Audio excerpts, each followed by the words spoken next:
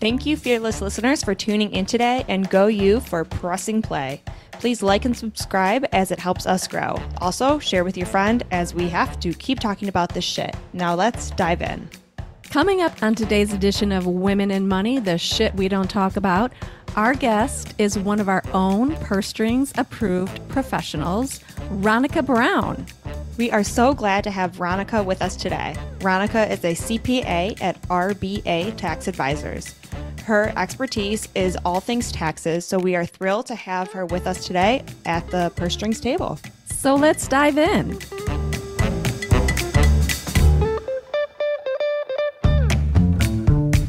Gloria Steinem once said, We will never solve the feminization of power until we solve the masculinity of wealth. Barbara Provost and Maggie Nielsen are the team at Purse Strings that will help you navigate the ins and outs of financial independence so that you can be financially fearless. This is Women in Money, the shit we don't talk about. Ronica, thank you so much for joining us today. Will you please take a few minutes to introduce yourself to our listeners? Thank you, ladies, for having me today. Um, hi, everyone. My name is Ronica Brown. I'm a CPA. But guess what? A lot of times I do not like saying that I'm a CPA because I feel like people put us in a little box. So I like to say that I am a tax expert, I'm a tax advisor. Um, I've been a CPA tax advisor for over what I'm going on like 16 years now my first job was in tax. I have a degree in accounting, and my first job was in tax. It was a bit weird for me just because I wanted to be an accountant, not a tax accountant. so once I got my first job um, in tax, I was working at the um, Home Depot corporate tax office.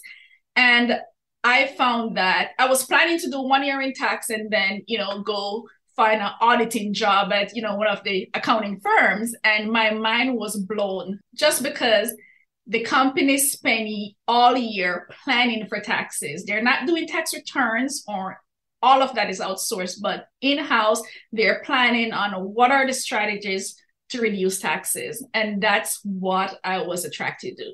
So, you know, after getting that experience in corporate and decided to, you know, become a business owner, that was a thing that puzzled me for a long time is, you know, how can small business owners you know, they may not have the income as a Home Depot or a large company, but how can they do get strategies in place so that they too can, you know, um, benefit from the tax code? Because you know as my mentor said the tax code is just a series of incentives. So how can we direct business owners to use the tax code to their to its maximum potential, reduce re- reduce your taxes, and you know make more money. So that's the mission that I'm on, um, and that's why I call myself a tax advisor, just because I don't want people to get weirded out, say, "Oh my gosh, there's that CPA." Oh, I love it. I love it. And we're so excited to have you on today and really just dive into some of those things as how we can use some of these tax benefits to our advantage or use some of this code to our advantage and as a business owner, you know, really get the most out of the money that we've earned. And so just diving right into this, um, I know we're going to talk about like three main topics today. And kind of the first one of having the best tax savings advantages is having the right business entity. Um, so can you dive into that a bit more? Right. And I think that, you know, for, you know, with working with small business and growing business over the years, I think that one of the things that they should ultimately think about you know how can my taxes make me money?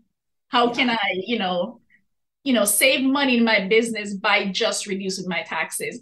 And i think that once people kind of like have that mindset change then it will be a less painful process.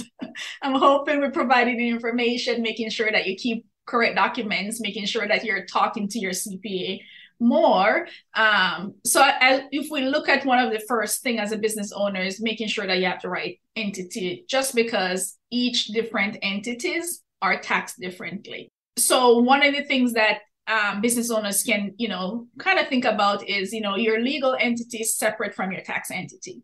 So you can have an LLC, say in Colorado. So legally it's an LLC, but you can tell the IRS how you want that LLC to be taxed. Do you want it to be taxed as an S corp? Do you want it to be taxed as a single member LLC? Do you want it to be taxed um, if it's multiple members of partnership? Do you want it to be taxed as a corporation? So your tax identity is completely different from the business that you're than what you registered with your state. Does that make any sense?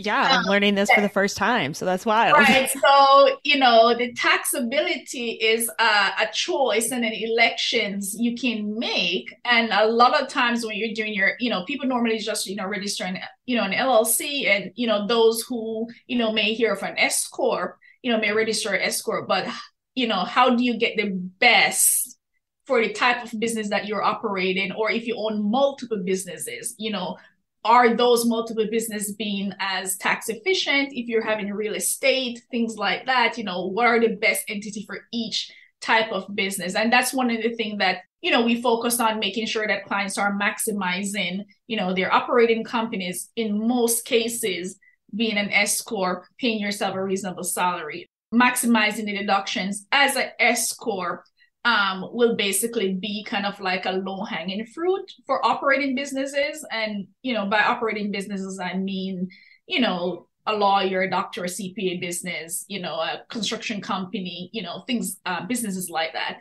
And then if you're owning other businesses or, or other assets, you know, what's the best kind of like tax umbrella to put those under so that you can, you know, offset losses and just, you know, being able to deduct as much expenses without basically losing a lot of your cash because tax deduction does cost you cash. You have to spend the money a lot of times to get a tax deduction.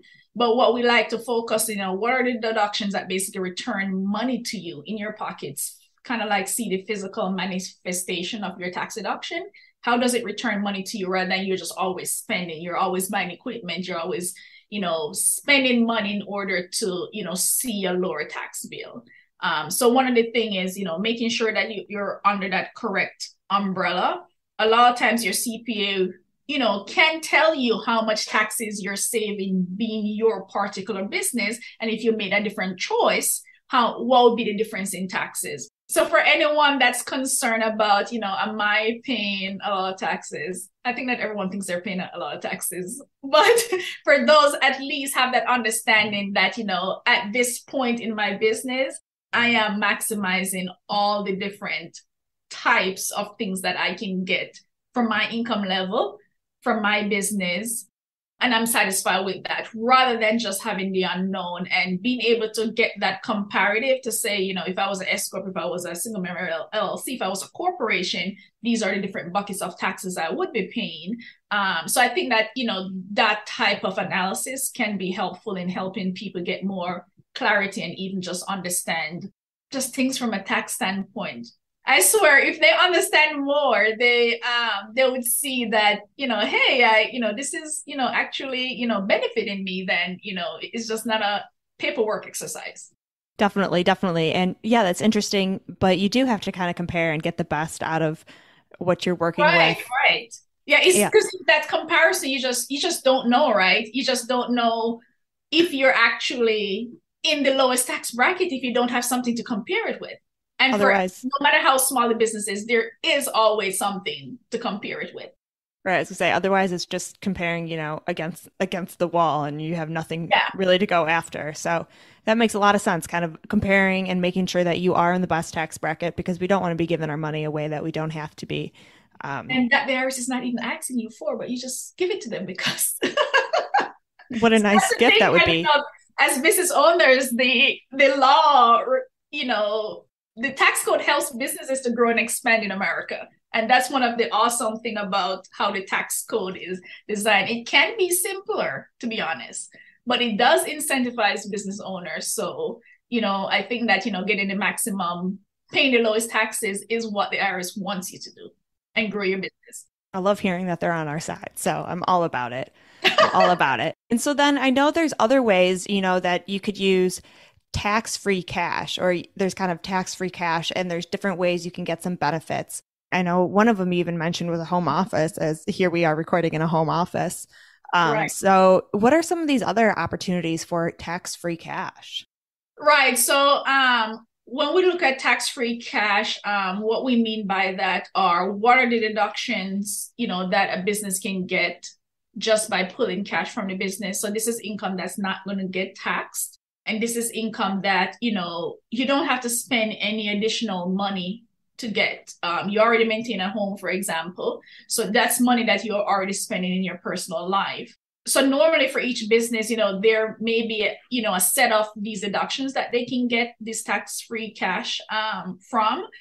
So as you mentioned you know home office even if you have a business location elsewhere, you you know there is a part of the code that allows for administrative home office as long as you do administrative things at home, whether it's coming up with a to-do list for the next day or whatever administrative you you do, you can also you know qualify. Um, one of the issues that we see with the home office is people are not maximizing and i think you know maybe because you know they may not get a um, direction in what information they should provide. We normally give our clients like a checklist that includes, you know, your mortgage interest, your property taxes, repairs. Just like when you own homes, like it becomes a labor of love, right? You're always oh yeah, oh yeah, you're always doing things to update repairs, utilities. You know, just those expenses around the home that that people don't normally, you know, keep track of. That you know, so we find that the checklist kind of like give them a guide in basically compiling that information that will help them. And, you know, it may not be significant for most people. They average about $6,000 in a tax deduction for a home office, but that's actually a check that you can write to yourself if you're like an S corp and that money is just completely not, not taxed. So when we look at, you know, these different categories, they have one that the um, deduction that they call the um, if you look online, it's more so referred to as what they call an Augusta loophole. That's what the okay. online refer to it as. But this is where you can basically your business, if you're operating a business as, you know, say an S corp or a corporation or a partnership, and this is where your entity matters because certain certain entity can get certain deduction and others cannot. Mm. So, for example, if you're an S corp, you can rent your your your S corp can rent your home to have business meetings, board meetings. Being an you know you at least have to have one um, business meeting or I don't know if you remember what the attorneys call it, kind of like um, board meetings or something each year. So you can actually pay yourself to have those meetings where you do your minutes and just keep your corporate books um, from a legal standpoint updated but you know if people look it up they'll call it like an augusta rental. And that money you know it's it's not tax at all because if you rent if anyone rents your home for less than 14 days that's income by law is not taxed. So if your business is the person that's renting it and you pass the money from your business to you personally then that basically falls within that under 14 days. Um, so most clients do it for you know one meeting per month we have a ton of management meetings. We shut down office sometimes just to do planning meetings. Um, so in December, we'll have a ton of those meetings. So just by planning for the upcoming year ahead, that we're able to meet it. And, you know, for for me, for example, I just like, you know, you know, I come up with my market comps and I just transfer that money to my personal account for my business each month. And that's just money that is completely just not taxed. So you'll be surprised that, you know, normally you have to come up with some comparables. Some people can rent their home for a thousand dollars a day. Some people for I've seen people renting, they're able to find comps for two, three thousand, ten thousand dollars per day. Wow. It's yeah. based on your location, the size of your house, that you do have to come up with the comparables to make sure it's a fair rent. But um, you'll be surprised how much it costs to rent out an entire space like the size of your house that is some huge money saving opportunity right there. I mean, just to take advantage of because why not? I mean, if you have that right. opportunity, we might as well. It's not like you actually have to have everyone hosted at your house. Exactly. So, yeah. You don't have to bring anyone to your house either. like sounds perfect. You know, right. If you're a solar business, you can have this meeting um, by yourself. As I said, that every LLC, at least by state law, does require to at least have one officer meeting. I'm, I don't remember what the lawyers call it, but they have to have one of those meetings each year to keep their corporate books. So at least that meeting that you're able to pay yourself for and keep in compliance with your your LLC registration, you know, in your state. So I think that, you know, with small business owners is understanding, you know, what are these buckets of tax-free cash that I can get from my business Right, right. Um, you, is it going to be, you know, your home? Is it going to be this Augusta thing, you know, once you Google it? Is it going to be some kind of medical reimbursement plan? Are you having a lot of out of pocket medical expenses? How can you make those fully deducted under your business? Not only the premiums for the health insurance, but what about a lot of the out of pocket expenses? A lot of people will put those on what we call an itemized deduction. Mm-hmm. But there's so much limitations to that that you don't get the full amount. So how can you get the full amount under your business if you're able to do some kind of medical reimbursement plan? Um, do you have children? Can you hire them? Oh, you know, what are the things that you can hire your children to do in your business? Can they clean your office and you pay them and they can use the money for their hobbies? Can they are they involved in marketing in your business? There are people who post their baby pictures online in their like branding little onesies and things like that. Like all of that counts as you know as valid um, tax deduction. Um, the key to everything in the tax world is documentation.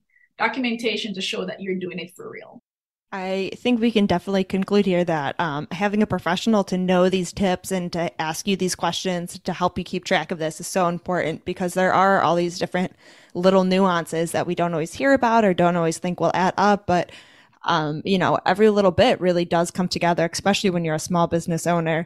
So it does seem like, you know, professionals very helpful for all these things because um, sometimes you just don't know what you don't know.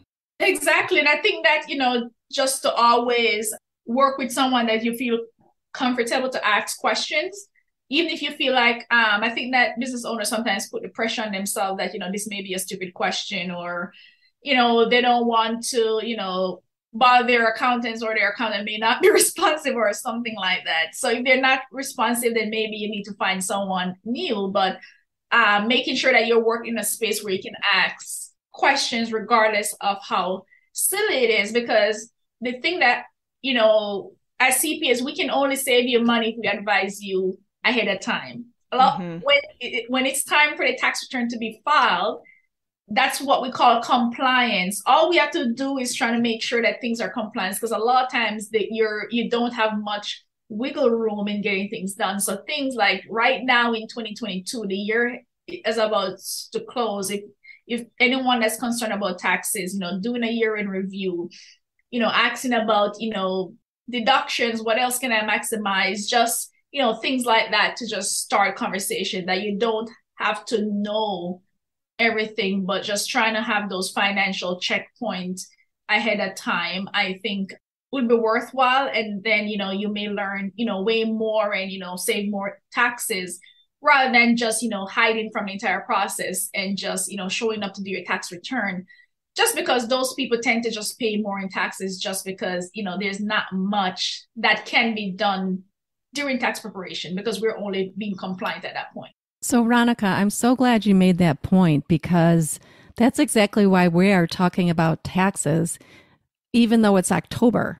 Right. Because we want people to say hey you can um, start doing some things now to look at your, like you said, year end review, to look at your expenses, to see what you've been tracking, gather some receipts, whatever documentation, like you said, that you may need so that you're ahead of the game and you're in preparation for doing your taxes. So I know it sounds crazy that we're talking about taxes all month in October, but this is especially why we're doing it is to be prepared. Exactly. And those are the people who save more 50% or more because we're right now, you know, yesterday was a tax deadline and we're heading into year end is the busiest time. We're heading into the year end planning. Um, you know, look at, you know, some of the things that we discussed and more. Um, you know, they're for people who have higher tax liability, they're, you know, tax transaction that they can participate in. They can buy solar, like everyone loves solar, right? um, clean energy, you know, with those initiatives, there's just a lot more funding going towards renewable energy and things like that. So there there are a lot of incentives, but being proactive, that's how you get it. You can't get it when it's time to file a tax return. And I think that's the hardest for people is being proactive. And that's why we are here. Exactly. So once they start and you're on that track and you know someone can look over your, you know, your tax plan or your tax for the entire year and then you have that next check-in. So i think in the initial year that you start just may be a bit tougher just because you're not used to that process. But once you get into that rhythm then it will it'll be a lot easier because you'll have more touch point. Um the, your accountant will have you know way more knowledge about your business and what you're looking for. Because i think that can i make this point? Yeah please i think one of the big misconception is that people think when they hire an accountant or a CPA, just hiring that person saves them money. Like, I'm not sure where people get that from.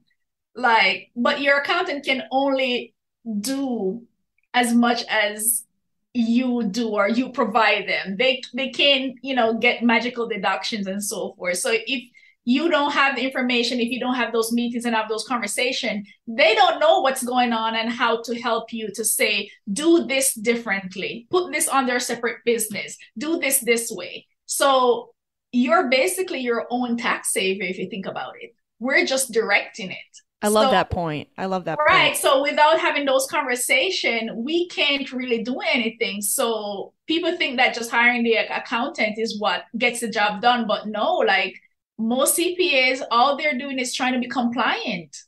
Yeah, that makes a lot of sense. It's like going to the doctor and just hoping that you're healthy. Um, it just doesn't exactly. work like that.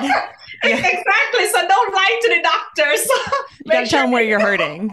Yeah. Don't tell them where you're hurting. Exactly. That's a great point. So it's the same approach that you know you go to your doctor, you get your health scan, and you have to tell your doctor what has been going on with you.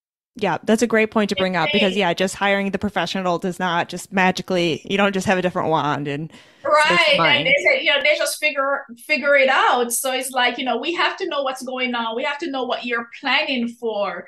We have to know those things so that we can help you to change the facts around them for you to get into a better tax position. And that's that's what our job is. And you know, but we have to get information from from you. So you are your own um tax saver actually if you think about it awesome that's a great point i'm really glad glad you brought that up today um, I know there was one more thing that we wanted to touch on, which is kind of new or different, you know, of course, because of COVID, and that's the retention tax credit. Um, and so, can you kind of just give us a quick explanation of, of what that is for business owners? Right. So the employee retention credit, um, this credit as was actually around way longer than the you know pandemic but of course just a oh, limited, really? right. So just only a limited number of businesses would, would qualify just based on the qualification before.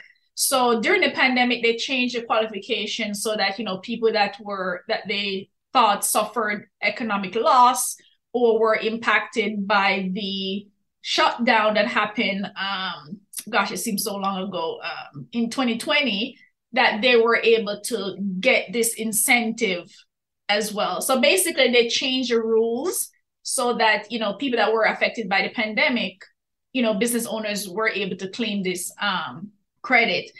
So the credit goes to retaining, you know, employees. So you know, you have to have people that are on payroll, basically yourself and you know other you know people that works in your business would have to be you know going through payroll getting them a w2 and things like that in order to, to qualify um, but what we've seeing that most clients were able to qualify during that initial shutdown period um, when everyone stayed at home for like a month or you know a couple weeks that you know that quarter for most people will qualify.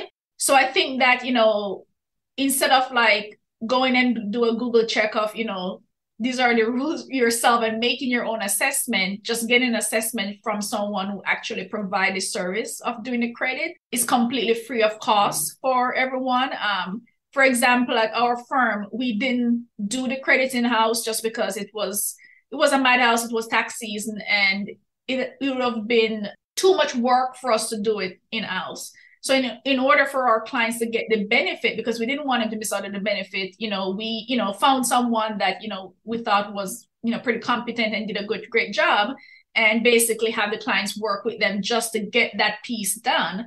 So even if they're, you know, CPA providers, you know, don't specifically provide it, I think that, you know, everyone that has, you know, a payroll, you know, during 2020, 2021, um, that there's still opportunities for them to go ahead and file for the retention tax credit for that period of time. And, you know, most providers who provide this retention tax credit service.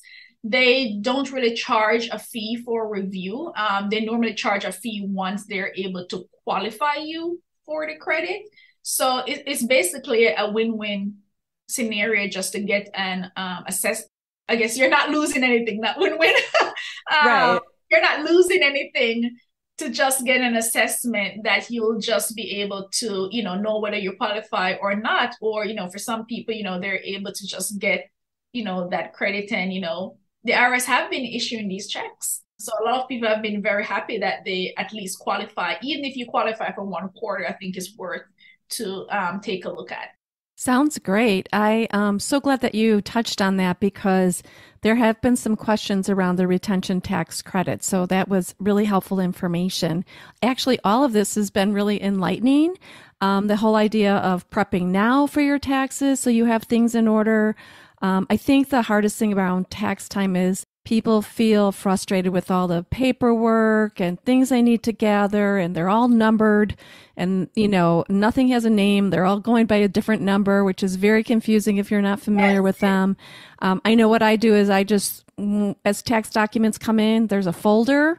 My husband and i just keep putting them in a folder until we think we have them all and then uh, we fill out a, a, document from our accountant so we kind of do have a routine um, but you know, I think preparation is key with taxes. You've given us some great insights, especially with everyone working from home now.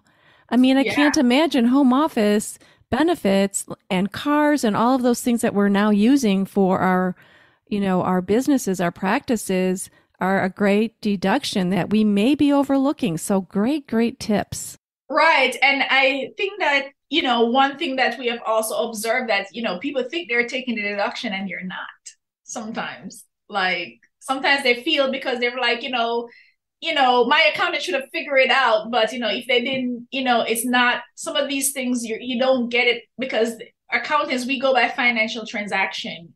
Mm. For S corp, you you have to reimburse yourself for, for your home office. That's just how it works under under um an S corporation it, the money has to come out in some form of like reimbursement or some form of payment to yourself.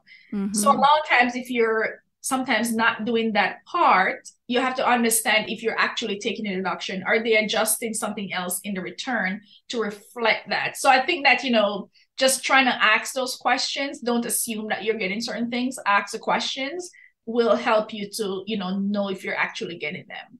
Yes, another great point. There's no magic wand that your accountant waves over your was. taxes to get I you deductions.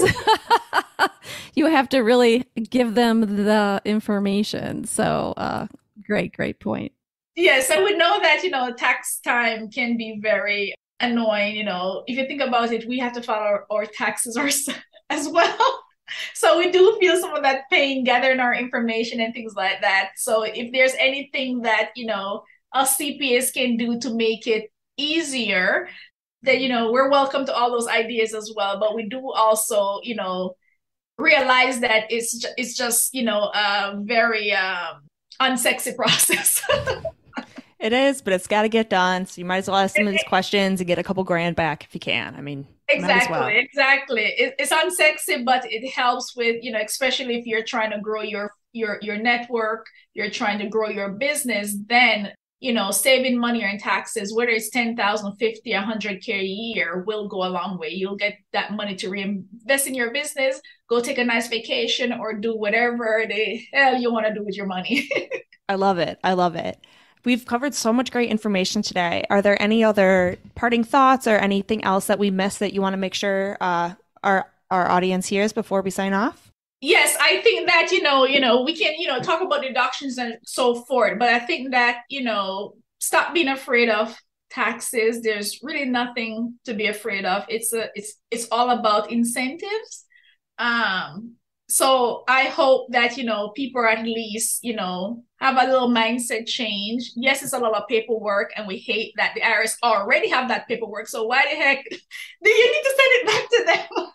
so we hope, especially on a personal level, that you know they will do something, implement some technology, use some of this money that this administration is giving them towards technology to make that part of the tax easier So we know that it needs to be easier, but you know, just from a mindset standpoint, you know, be a little more open minded about it have more conversations around it and then you know hopefully that will make you know you get more comfort people get more comfortable to ask questions. Because i think that that's one of the big thing that you know sometimes you can give a client the deductions on a platter but they already have so much mindset block on you know what's it going to cost me this and that or they may have I think it's called money mindset that people mm-hmm. have like certain mindset about money. So it carries over in business and also how they think about taxes that they can't see that it's benefiting them even when you're like giving it to them so i think that a lot of what holds you know business owners back is that you know thinking about it from like a you know i should be saving money and you know show me what i'm saving mindset would be you know helpful that they're not losing out on things just because they're just don't want to think about it in their mind. Yeah that's excellent. That um we need to play our own important part in the tax uh, savings calculation. Uh, we need to really evaluate, make changes, put documentation together, and take an active step to ensure that we're doing our fair share to ensure we are getting the deductions that we deserve back as well, and not just to say, "Oh, I'm not quite sure. If I'm, I don't want to ask the question," or "I'll just let my accountant take care of it." That's not going to happen. That's not going to happen for you. You really have to be take an active role and do your fair share in order to partner with your accountant, your CPA, um, right. your tax advisor, and really work in partnership with them so that together you are getting the best deductions as well. Absolutely. Absolutely. Well, this has been so much great information. So, thank you again, Ronica, for coming on today. Um, Ronica, like we said, is one of our purse strings approved professionals. So, you could reach out to her off our site, pursestrings.co. And we will be back here again pretty soon. So, hope you tune in, share with a friend, and call up a tax advisor. You know, get started today. So, thank you for tuning in. Bye. Thank you. Bye bye.